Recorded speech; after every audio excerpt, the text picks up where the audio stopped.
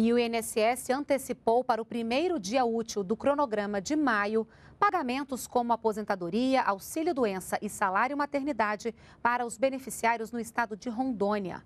A cidade está em estado de calamidade pública desde o último dia 30 por causa das inundações.